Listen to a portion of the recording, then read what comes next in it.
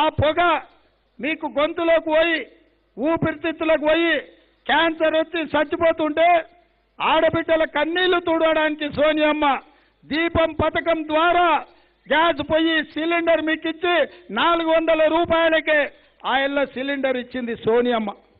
ఇవాళ కేసీఆర్ మోడీ కలిసి పన్నెండు వందలు చేసిండ్రు సిలిండర్ ధర. అంతేనాక ఎంత కొంటున్నావు? పన్నెండు వందలే కదా. మరి సంసారం ఎట్లా నడుస్తుంది అక్క? నువ్వు చెప్పు. అందుకే ఇవాళ పన్నెండు వందలు కాదు ఈ నెల కొంటే పన్నెండు వందలు. వచ్చే నెల తొమ్మిది తారీఖు నాడు ఇందిరమ్మ రాజ్యం ఏర్పడి నా ఐదు వందల రూపాయలకే వచ్చే నెల నుంచి మీకు సిలిండర్ ఇచ్చే బాధ్యత కాంగ్రెస్ పార్టీ తీసుకుంటుంది. అదేవిధంగా ఇవాళ రైతు బంధు రైతు బంధు కాంగ్రెస్ వస్తే బంద్ అవుతుంది అంటున్నాడు. నీ బొందేం కాదు కేసీఆర్. కాంగ్రెస్ వస్తే రైతు భరోసా ఇస్తాం. ప్రతి ఎకరాకు ప్రతి రైతుకు ప్రతి సంవత్సరం పదిహేను వేల రూపాయలు రైతులకు ఇచ్చే బాధ్యత రైతు భరోసా పథకాన్ని అమలు చేసే బాధ్యత కాంగ్రెస్ పార్టీ తీసుకుంటుంది. భూమి ఉన్నోడికే కాదు భూమి కౌలుకు దున్నుకునేటోని కూడా ఎకరాకు పదిహేను వేల రూపాయలు ప్రతి సంవత్సరం ఇచ్చే బాధ్యత ఇవాళ కాంగ్రెస్ పార్టీ తీసుకున్నది సోనియం ఆదేశించింది. చాలామంది గ్రామాలకు పోయినప్పుడు నేను పాదయాత్రలో చూసిన ఈ ప్రాంతానికి కూడా వచ్చిపోయిన పాదయాత్రలో స్టేషన్ గన్పూర్లో కూడా సమావేశం పెట్టిన. నడుస్తుంటే నేను కూలీలతో మాట్లాడినా. అయ్యా సారు భూమి ఉన్నోనికే పైసలు ఇవ్వబడుతుంది భూమి ఉన్నోనికే ధరలు పెరిగాయి భూమి ఉన్నోనికే కరెంట్ ఇవ్వబడుతుంది భూమి ఉన్నోనికే నీళ్ళు ఇవ్వబడుతుంది ఏమి లేని మా పరిస్థితి ఏం సార్? మమ్మల్ని ఏం ఆదుకోరా? మా ఓట్లు అక్కర్లేదా? మేము మనుషులంగామా మేము బతుకొద్దా ఈ రాష్ట్రంలో అని అడిగాను వాళ్ళ ఆవేదన నాకు అర్థమైంది. ఉపాధి హామీ కూలికి పోయేటోళ్ళు రోజు కూలీలకు పోయేటోళ్ళ బాధ నాకు అర్థమైంది. నేను సోనియమ్మకు రాహుల్ గాంధీకి చెప్తే వాళ్ళని కూడా ఆదుకోవాల్సిందే. అందుకే ప్రతి సంవత్సరం ఉపాధి హామీ కూలికి పోయే ప్రతి కూలీకి ప్రతి సంవత్సరం పన్నెండు వేల రూపాయలు ఇవ్వాలని ఇవాళ కాంగ్రెస్ పార్టీ నిర్ణయం తీసుకున్నది. అదేవిధంగా రెండు వేల నాలుగు కంటే ముందు చేవెళ్ళ నుంచి ఇచ్చాపురం వరకు రాజశేఖర రెడ్డి గారు పాదయాత్ర చేసేటప్పుడు తెలంగాణ రైతాంగం కలిసి కన్నీళ్ళు పెట్టుకొని కాలిపోతున్న మోటార్లు పేలిపోతున్న ట్రాన్స్ఫార్మర్లు ప్రభుత్వాలు పెడుతున్న అక్రమ కేసులు కరెంటు బిల్లులు ఆత్మహత్యలు. రాజశేఖర రెడ్డి గారు చెప్తే రాజశేఖర రెడ్డి గారు సోనియమ్మ అనుమతితోని రెండు వేల నాలుగులో ఎల్బీ స్టేడియంలో ముఖ్యమంత్రిగా ప్రమాణ స్వీకారం చేసిన మొదటి రోజే రైతులకు నాణ్యమైన విద్యుత్తు తొమ్మిది గంటలు ఉచితంగా ఇవ్వడమే కాకుండా పన్నెండు వందల కోట్ల రూపాయల బకాయిలు రద్దు చేసి అక్రమ కేసులను తొలగించిన చరిత్ర కాంగ్రెస్ పార్టీ. అందుకే ఈ రైతాంగాన్ని ఆదుకోవడానికి ఇప్పుడు కాంగ్రెస్ పార్టీ ఇరవై నాలుగు గంటల నాణ్యమైన ఉచిత విద్యుత్ ఇవ్వాలి అని చెప్పి ఇవాళ కాంగ్రెస్ పార్టీ నిర్ణయం తీసుకున్నది. కొట్టండి సప్పట్లు. ఆనాడు తొమ్మిది గంటలు ఈనాడు ఇరవై నాలుగు గంటలు ఉచిత విద్యుత్ వాడొచ్చి వీడొచ్చి మనకి చెప్తున్నారు. ఇక వాళ్ళని చూస్తే నాకు నవ్వాలనో ఏడవాలనో అర్థమవుతలేదు. తాతకే దగ్గు నేర్పుతున్నారు. ఉచిత కరెంటు గురించి కాంగ్రెస్ వాళ్ళకి చెప్తారా? ఈ దేశంలో ఈ ప్రపంచంలో ఉచిత కరెంటు ఎవరిచ్చారా అంటే ఆనాడు కాంగ్రెస్ ప్రభుత్వము డాక్టర్ వైఎస్ రాజశేఖర రెడ్డి గారు ఉన్నప్పుడు ఇచ్చిందని చెప్పరా? ఈ మాత్రం ఇంగిత జ్ఞానం. ఈ రాష్ట్ర ముఖ్యమంత్రికి లేదా అమెరికాలో బాత్రూంలు వచ్చిన కేటీఆర్కు లేదా అని నేను అడుగుతున్నాను. అదేవిధంగా ఇదే పేదలు మళ్ళీ మాట చెప్పారు. అయ్యా భూమి ఉన్నోనికి ఉచిత కరెంట్ ఇస్తే బాగానే ఉంది. మాకు భూమి లేకపోయా ఇల్లుంటే ఇంటి బిల్లు వాళ్ళది ఇళ్ళది అన్ని కలిసి మాన్యత మీద పడుతున్నదని.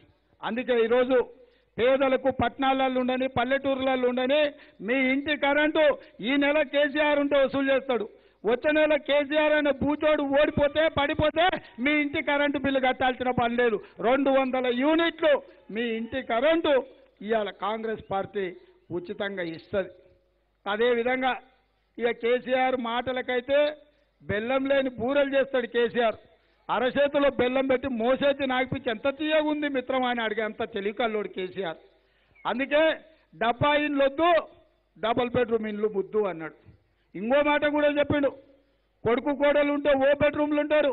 బిడ్డ అల్లుడు పండుగకొస్తే ఆడమంటారు కోడి పిల్లనో కుక్క పిల్లనో ఉంటే ఆడగట్టేసుకుంటారు. అందుకే మీకు డబల్ బెడ్రూమ్ ఇల్లు ఇస్తున్నా అన్నారు. మా అక్కలు కూడా అన్నారు అయ్యా ఇంతకాలం గుడిసెలలో ఇందిరమ్మ ఇంట్లో ఒకటే రూమ్లు ఉన్నాం. పిల్లగాడు చిన్నోడు పెద్దగాడు మీసాలు వచ్చిన పెళ్ళి అయింది వాడాడు ఉంటా నేనేడు ఉంటా అని మా అక్కలు ఆలోచన చేశారు. ఆశపడ్డారు. పెద్దోళ్ళు చెప్పారు పెడతామంటే ఆశపడతారు కొడతామంటే దూరం పోతారని. కేసీఆర్ ఏదో చేస్తా అన్నాడు కదా సరే చూద్దామని రెండు సార్లు ఇచ్చారు. నేను అడుగుతూ నీడు ఉన్నోళ్ళు అందరినీ ఎవరికైనా డబల్ బెడ్రూమ్ ఇల్లు వచ్చిందా? ఎవరికైనా డబల్ బెడ్రూమ్ ఇల్లు వచ్చిందా? ఎవరికైనా డబల్ బెడ్రూమ్ ఇల్లు వచ్చిందా? గాడున్న మా అక్కలు మా పెద్దమ్మ గా బ్లూ చీర కట్టుకున్న మా పెద్దమ్మ చెప్పాలి డబల్ బెడ్రూమ్ ఇల్లు వచ్చిందా తల్లి? ఎవరికైనా డబల్ బెడ్రూమ్ ఇల్లు వచ్చిందా? మరి ఆ దరిద్రుడు ఫామ్ హౌస్లో వెయ్యి ఎకరాలలో పెద్ద బంగ్లా కట్టుకున్నాడు. పంజగుట్ట చౌరస్తల పది ఎకరాలలో నూట యాభై బెడ్రూమ్ల పెద్ద ఆయన బంగళా ఏంది బా గడి కట్టుకున్నాడు. వాళ్ళ కొడుకు జన్వాడలో వంద ఎకరాల ఫామ్ హౌస్ల వంద కోట్లు పెట్టి కట్టుకున్నాడు. మనకు మాత్రము రెండు లక్షలు ఇచ్చి ఇల్లు కట్టుకునే అవకాశం ఇయ్యలే. అందుకే ఇవాళ ఇల్లు లేని ప్రతి పేదవాడికి పెళ్ళైన ప్రతి యువకుడికి ఇందిరమ్మ ఇల్లు కట్టుకోవడానికి ఐదు లక్షల రూపాయలు మీకు ఉచితంగా ఇచ్చే బాధ్యత ఇవాళ కాంగ్రెస్ పార్టీ తీసుకుంటుంది. అదేవిధంగా చాలాసార్లు పేపర్లో చూస్తుంటా. ఎంబీబీఎస్లో ర్యాంక్ వచ్చింది కానీ ఫీజులు కట్టుకోనికే పైసలు లేవు. ఇంజనీరింగ్లో ర్యాంక్ వచ్చింది కాబట్టి ఫీజులు కట్టుకోనికే పైసలు లేవు. కాలేజీలో చేరిండ్రు కానీ కంప్యూటర్ కొనుక్కోనికే పైసలు లేవు. ఎవరైనా ఉంటే సాయం చేయండి అని పేపర్లలో టీవీలలో అప్పుడప్పుడు వేస్తుంటారు. అందుకే చదువు మీద పెట్టేది ఖర్చు కాదు పెట్టుబడి. వాడు చదువుకుంటే డాక్టరో లాయరో ఇంజనీరో అయ్యి పెద్దోడు అయ్యి దేశానికి సేవ చేస్తాడు కుటుంబానికి పెద్ద దిక్కు అవుతాడు. అందుకు చదువుకునే పిల్లలకు ఐదు లక్షల రూపాయల వరకు బ్యాంకు గ్యారంటీ కార్డు ఇచ్చి మీ చదువుల ఫీజుల కోసం మీ కంప్యూటర్ల కోసం మీ ల్యాప్టాప్ల కోసం మీకు అవసరమైన విద్యను ఖర్చు పెట్టుకోవడానికి ఐదు లక్షల రూపాయలు విద్యార్థులకు ఇచ్చే బాధ్యత ఇవాళ కాంగ్రెస్ పార్టీ తీసుకున్నది. అదేవిధంగా ఇవాళ ఇక్కడ నేను రోజు మీటింగ్లలో చూస్తున్నా. ఏడ చూసినా ఇరవై ఏళ్ళ నుంచి ముప్పై ఐదేళ్ళు నలభై ఏళ్ళ లోపటోళ్ళు కనిపిస్తున్నారు అరవై ఏళ్ళోళ్ళు పింఛన్ వచ్చేటోళ్ళు తక్కువ మంది కనిపిస్తారు ఎవరైనా ఉన్నారా పింఛన్ వచ్చేటోళ్ళు? ఎవరు పెన్షన్ వచ్చేటోళ్ళు లీడ్ ఎవరైనా ఉన్నారా? పోనీ మీ ఊర్లో ఎంత ఇస్తారు పింఛను? ఇంతే కదా? ఇంతనే కదా? ఇవాళ పెన్షను కేసీఆర్ ఉంటే మీకు ఇంత సోనియమ్మ రాజ్యం వస్తే మీకు ఇంత కేసీఆర్ ఉంటే రెండు. ఇందిరమ్మ వస్తే నాలుగు. ఆ ఇందిరమ్మ రాజ్యం కానీ ఈ ఇందిరమ్మ రాజ్యం కానీ అందుకే మా పెన్షన్ వచ్చే మా పెద్దమ్మలకు మా పెద్దయ్యలకు నేను ఒకటే మాట తెచ్చుకో చెప్పదలుచుకున్నా. బొచ్చడు పైసలు ఉన్నాయి ప్రభుత్వం దగ్గర. రెండున్నర లక్షల కోట్ల ఆదాయం ఉంది. మీ పేదోళ్ళకి నాలుగు వేలు ఇస్తే మునిగేది ఉందా? ఆ దరిద్రుడు ఇంతకాలం దాచిపెట్టుకున్నాడు. మేము నాలుగు వేలు అయినాక అర్రాజు పాట వాడినట్టు ఇప్పుడు ఐదు వేలు అంటున్నాడు ఎవడు నమ్ముతాడా? కూడా నమ్ముతాడా? అందుకే ఇవాళ ప్రతి పేదవాడికి ప్రతి నెల జీతం ఇచ్చినట్టుగా నాలుగు వేల రూపాయలు ఈ పేదలకు పెన్షన్ ఇచ్చే బాధ్యత ఈరోజు కాంగ్రెస్ పార్టీ తీసుకున్నది. మీరందరూ కొట్టండి చప్పట్లు గట్టిగా సోనియామ్మకు ఆయల్లో రాజశేఖర రెడ్డి గారు సర్కారు దవాఖానకు పోయి చచ్చిపోతుంటే చూసి అపోలో యశోదలో మీరు వైద్యం చేయించుకోవాలని రాజీవ్ ఆరోగ్యశ్రీ పథకం ద్వారా రెండు లక్షల రూపాయలు మీకు ఉచితంగా వైద్యం అందించింది. ఇరవై ఏళ్ళ కింద రెండు లక్షలు. ఇవాళ ధరలు ఎట్లా పెరిగినాయి? ఆయనలో పదిహేను రూపాయలు పదిహేను వేలు ఉండే తులం బంగారం. ఇవాళ అరవై వేలు అయింది. అవునా? నాలుగంతలు పెరిగి మేము అక్కలకి ఎక్కువ తెలియాలి. బిడ్డ పెళ్ళి చేస్తే తెలుస్తుంది. అవునా? మరి అరవై వేలు ఆ ధర అట్లా పెరిగింది. అందుకే ఈసారి ఆరోగ్యశ్రీ పథకంలో రెండు లక్షలు సరిపోతలేదు. పది లక్షల రూపాయలు ఎక్కడైనా వైద్యం చేసుకోవడానికి ఇవాళ కాంగ్రెస్ పార్టీ ఇవాళ మంచి నిర్ణయం తీసుకున్నది. అందుకే మిత్రులారా ఆడబిడ్డలారా ఆలోచన చేయండి. మహాలక్ష్మి పథకం ద్వారా ప్రతి నెల ఆడబిడ్డల ఖాతాలో రెండు వేల ఐదు వందల రూపాయలు రావాలన్నా ఐదు వందల రూపాయలకే సిలిండర్ మీ ఇంటికి రావాలన్నా ప్రతి రైతుకు రైతు భరోసా పథకం కింద ఎకరాకు పదిహేను వేల రూపాయలు రావాలన్నా కౌలు రైతుకు పదిహేను వేల రూపాయలు అందాలన్నా ఉపాధి హామీ కూలికి ప్రతి సంవత్సరం పన్నెండు వేల రూపాయలు రావాలన్నా గృహలక్ష్మి పథకం కింద మీ ఇంటి కరెంటు బిల్లు రెండు వందల యూనిట్ల వరకు ఉచితంగా ఇవ్వాలన్నా చదువుకునే పిల్లలకు ఐదు లక్షల రూపాయల బ్యాంకు గ్యారంటీ కార్డు ఇవ్వాలన్నా మా పెద్దోళ్ళకు నాలుగు వేల రూపాయల పింఛను ప్రతి నెల రావాలన్నా ఆరోగ్యశ్రీ పథకంలో మీకు పది లక్షల రూపాయలు రాజీవ్ ఆరోగ్యశ్రీ పథకం అమలు జరగాలన్నా ఇన్ని మంచి పనులు కాంగ్రెస్ పార్టీ సోనియమ్మ మల్లికార్జున్ ఖర్గే గారు చెయ్యాలంటే మీరొక్క మంచి పని చేయాలి. ఏంది మిత్రులారా మంచి పని? ఏంది?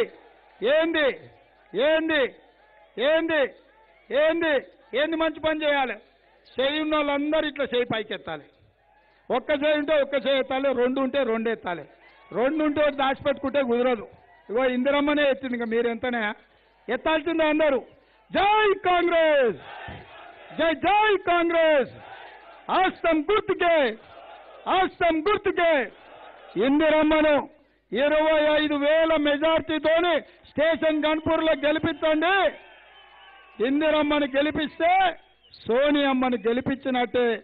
ఇప్పుడు రెండు స్లోగన్లునే ఉన్నాయి కూసారు కూసారు అయిపోలే. అప్పుడే ఏడైపోయింది. లేస్తేనే ఉన్నారు దావత్ ఉందా ఏం లేదు కదా. అందుకే జరసేపు నేను మార్పు కావాలి అంటే మీరు కాంగ్రెస్ రావాలి అనాలి. సిద్ధమేనా? సిద్ధమేనా? సిద్ధమేనా? సిద్ధమేనా? సిద్ధమేనా? సిద్ధమేనా? మార్పు కావాలి. ఇంత చప్పగా అంటే ఎట్లనా? మార్పు కావాలి. మార్పు కావాలి. మార్పు కావాలి. మార్పు కావాలి.